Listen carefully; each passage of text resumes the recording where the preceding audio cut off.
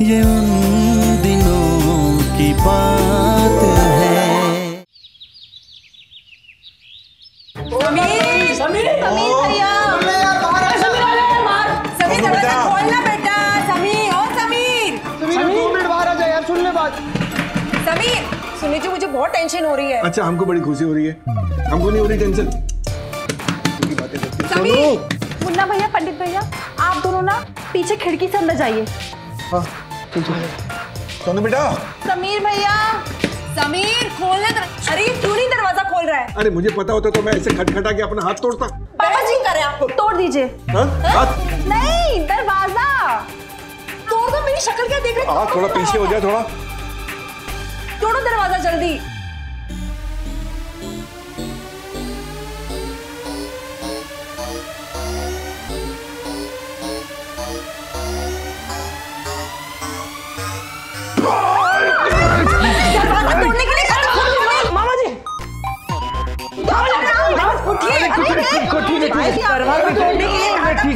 के लिए ठीक है ठीक ठीक है ठीक है ठीक है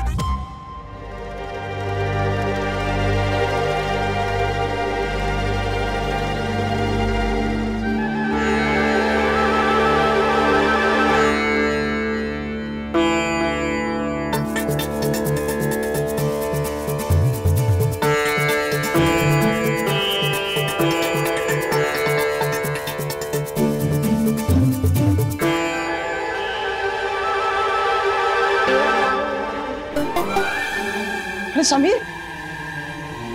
यार तबीयत तबीयत तो ठीक है तेरी? तूने नाना जी के कपड़े क्यों पहन रखे हैं? कहीं काकुसा की आत्मा तो नहीं आ गई इसके अंदर।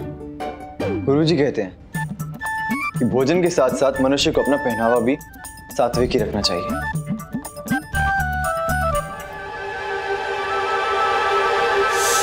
सत्यानाश हो उस कैसेट वाले बाबा का। मेरे हीरो जैसे भांजी को बैरागी बना दिया।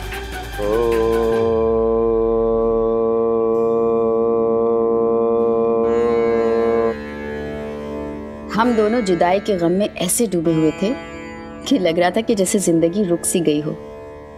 पर असल में ज़िंदगी रुकी नहीं थी।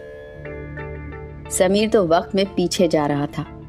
शायद इतना पीछे कि सतयुग में ही पहुँचने वाला था वो। और मेरी ज़िंदगी फुल गेयर में आगे भागने वाली थी। इतनी स्पीड में कि लग रहा था कि सब कुछ बिखर जाएगा।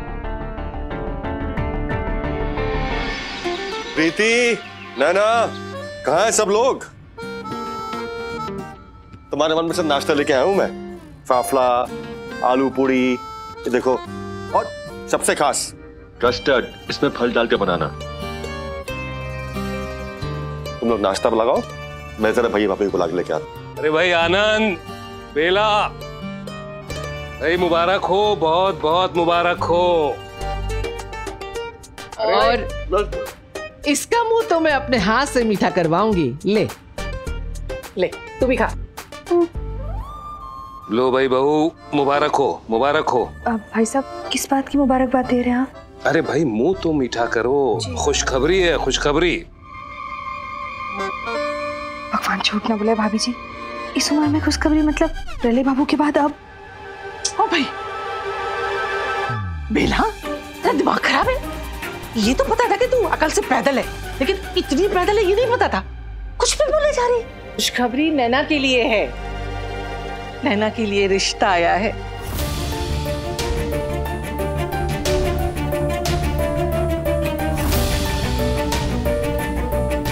रिश्ता? भाई हमें तो सब कुछ बहुत पसंद आया। हमने तो एक तरह से हाँ कर दी है हाँ कर दी आपने। कम से कम हमसे एक बार बात तो कर ली होती। क्यों आनंद? तू हमसे बड़ा हो गया क्या अब इस घर में? अरे कि आनंद बाबू आप परेशान मत हो। बहुत अच्छा रिश्ता है। लड़का सुंदर है गोरा चिट्टा है अग्रवाल खानदान का है पढ़ा लिखा है और सीए की ट्रेनिंग कर रहा है। और दो हज़ार रुपए तनख्वाह भी मिलते हैं उसको नौकरी के। और जब सीए बन जाएगा तो दोनों हाथों से नोट गिनेगा। ये समझो हमारी लड़की के तो भाग्य खुल गए। घर बैठे इतना अच्छा रिश्ता आया है। अरे उन लोगों ने तो इसका फ़ोटो देखा और फ़ौरन पसंद कर कर। नैना का फ़ोटो? हाँ। वो सत्यनारायण की कथा में जो वो साड़ी पहन के फ़ोटो निकलवाया था ना।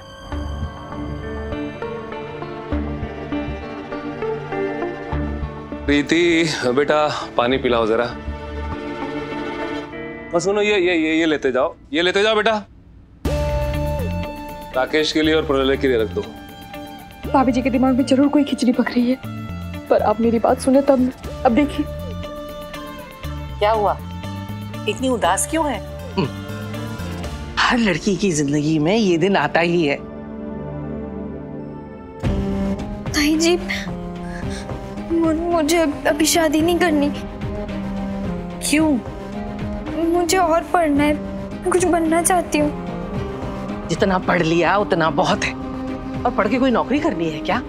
बताओ पति कमाएगा और तू बैठ के ऐश करना। भाभी जी अभी तो ये बच्ची है। अरे अट्ठारह की हो गई है वो। आनंद बेटियाँ हमेशा पराई अमानत होती हैं। और वो अमानत जितनी जल्दी सही हाथों में सौंप दी जाए बेहतर होता है। भाई साहब जल्दी और जल्दबाजी में बहुत फ़र्क होता है। आनंद बाबू, अरे मैं तो कहती हूँ कि पिछले जन्म के अच्छे कर्मों का फल है जो हमें ऐसा रिश्ता मिला है। बताओ, इकलौता लड़का है ना कोई बहन, ना कोई भाई, बस माँ बाप और कोई मांग भी नहीं है, बस दो कपड़े में लड़की को मांग रहे हैं। बताओ आजकल ऐसा रिश्ता मिलता है कहीं? लेकिन ताई जी नैना ने कहा ना उसे अभी और पढ़ाई करनी है। बच्चे बड़ों के बीच में बात नहीं करते बेटा। भाई साहब मैं तो सिर्फ़ ये कह रहा था कि आनंद हमने जो कुछ भी किया है बहुत सोच समझ कर किया है। वरना कोई आसान नहीं है ऐसी लड़की के लिए रिश्ता मिलना।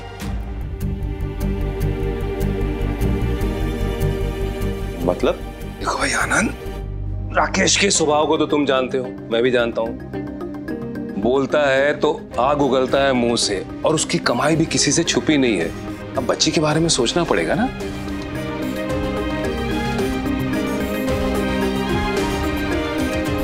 एक बात और, हमारी लड़की की शक्ल सूरत भी तो अच्छी नहीं है।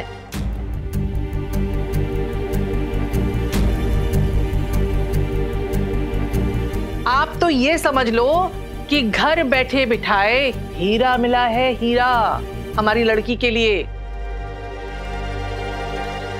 भाभी जी रिश्ते तो मिलते ही रहेंगे। कम से कम इसे अपने कॉलेज तो पूरा करने दीजिए। आनंद क्या गारंटी है कि बाद में ऐसा रिश्ता मिलेगा? ओ भाई आनंद बाबू पूजा को ही देख लीजिए। क्या कमी थी हमारी पूजा में? सुंदर थी गोरी चिट्टी पढ़ी लिखी। और आप तो पैसा भी देने को तैयार थे। फिर फिर भी कितने धक्के खाने पड़े रिश्ते ढूँढने के लिए? याद है?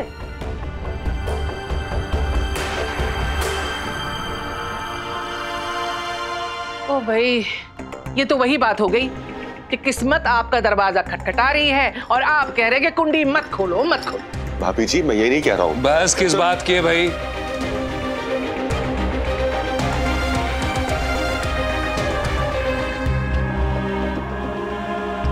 हमने हाँ कर दी है। बात खत्म।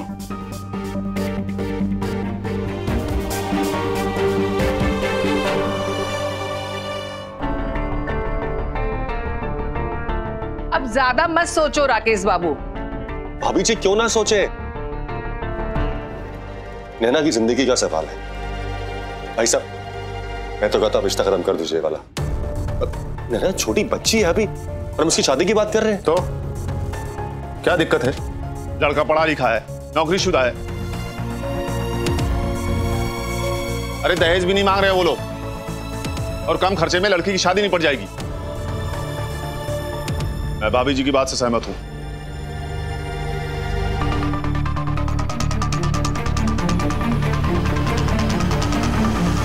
और जब से भाभी जी इस घर में ब्याह के आई हैं, पहली बार कोई समझदारी का काम किया इन्होंने। अरे भाई तारीफ़ कर तारीफ़ कर रहे हैं। ओ भाई।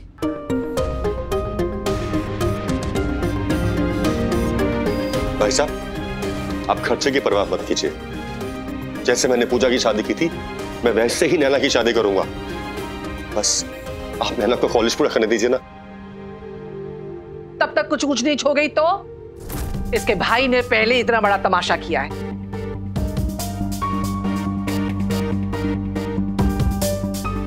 और कहीं इसने भी कोई गुल खिला दिया तो? फिर किस माँ को मौसी बनाओगे? भगवान झूठ ना बोले भाभी जी मेरी बेटियाँ ऐसी नहीं है।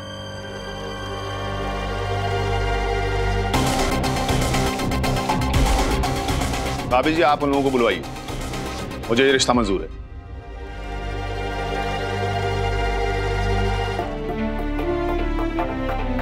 भाई साहब ये क्या कह रहे हैं आप? बिल्कुल ठीक कह रहा हूँ मैं आनंद। पूरी उम्र गुजारी है मैंने एहसान लेते हुए। अब तू क्या चाहता है? बेटी की शादी के लिए भी तुझसे एहसान लू ताकि तू दुनिया में छाती ठोक के कहता फिरे कि देखो भतीजी की शादी मैंने करवाई है।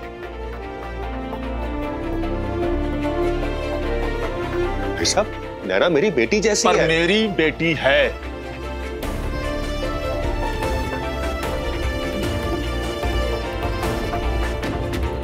और मेरी बेटी के लिए क्या सही है क्या गलत है उसका फैसला सिर्फ़ मैं करूँगा।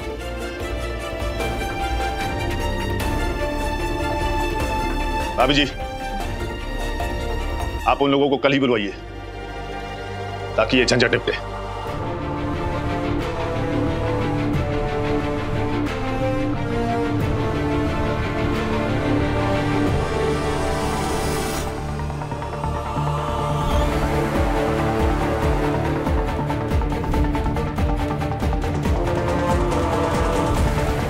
बीना हाँ। कल सुबह बुला लो हम थोड़ा देर से जाएँगे ऑफ़िस शुभ काम में देर नहीं करना चाहिए। मैं बुला लेती हूँ।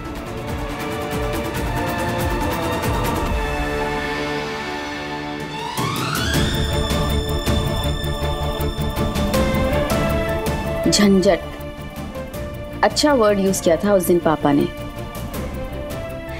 शायद उस रिश्ते का मतलब था सारी झंझटों का खत्म हो जाना।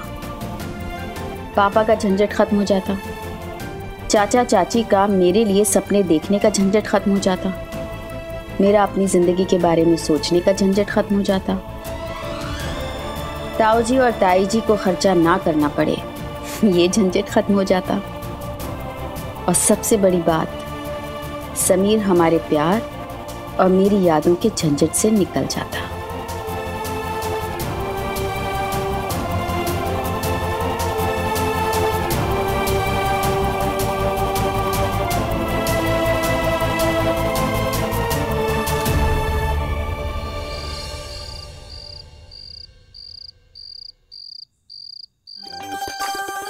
हे बालाजी महाराज? मेरे सोनू को जल्दी से ठीक कर दो बाबा। गॉड टेंशन के मारे तो मेरा बुरा हाल हो रहा है। आ रहा है आ रहा है आ रहा है। हंसना शुरू करो हंसना शुरू करो। हंसो हंसो।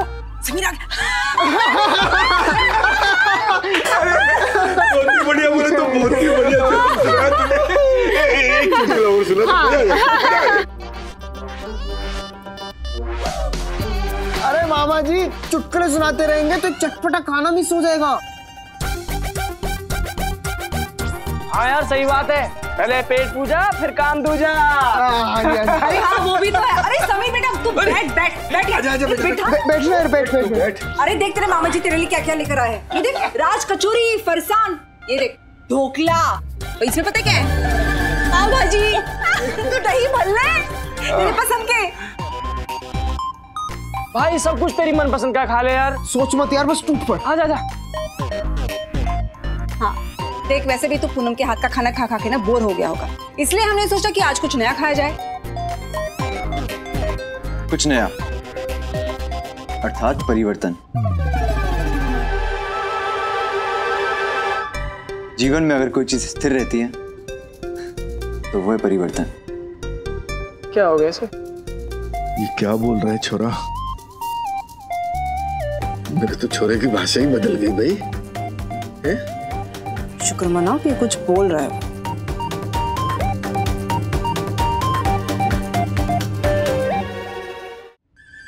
हाँ, सत्य वचन महाराज सत्य वचन बहुत बढ़िया बोली तो बहुत ही बढ़िया बात बोली तूने वाह। वैसे अपना सोनू थोड़ा थोड़ा बदल रहा है। है नहीं है नहीं है नहीं? हाँ जी हाँ जी हाँ जी। बदल नहीं था मामा जी। आखिर यही तो प्रकृति का नियम है। इसको नियम है? पता नहीं भाई खुद बना रहा आजकल ही तू ये बता ना कि तू क्या खाएगा? पाव भाजी खाएगा पहले या राज कचौरी मामी जी मुझे अपने शरीर के साथ साथ अपने मस्तिष्क और अपनी आत्मा को भी पवित्र रखना है।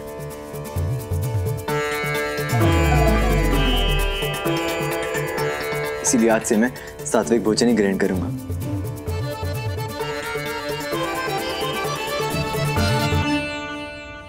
ये तो क्या लाई सात्विक भोजन। उबली हुई सब्ज़ियाँ। समीर भैया ने बनवाई है।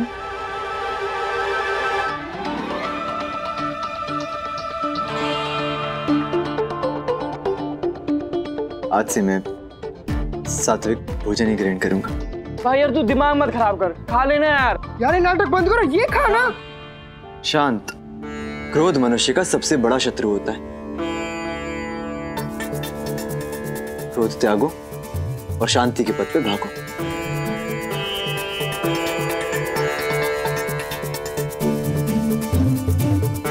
बोलो, ओ। हे भगवान, क्या हो गया यार इसे?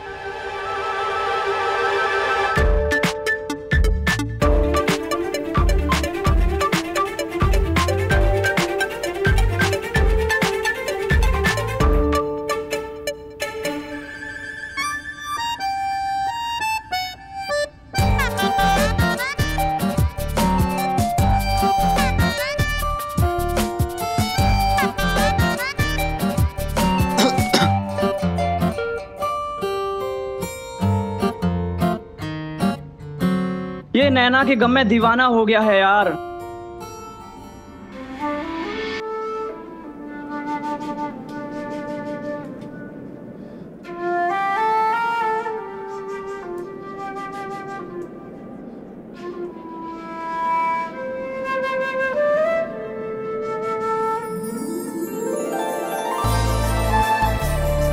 जीवन में कठिनाइयाँ तो आती रहेंगी।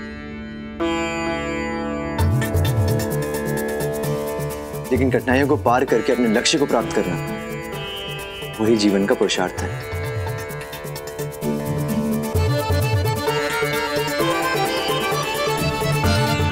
क्या हो गया? भगवान तो नहीं बन जाएगा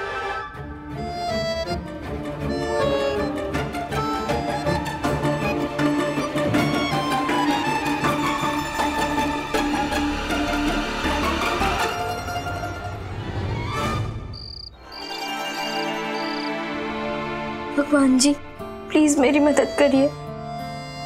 मैं उस लड़के से शादी नहीं करना चाहती। हाँ मैं समीर से दूर होना चाहती हूँ। लेकिन ऐसे नहीं। ऐसे तो मैं चाचा जी से, इनके प्यार से, इन सारे सपनों से जो उन्होंने मेरे लिए देखे, सबसे दूर हो जाऊँगी। प्लीज़ भगवान जी, कुछ चमत्कार करिए प्लीज़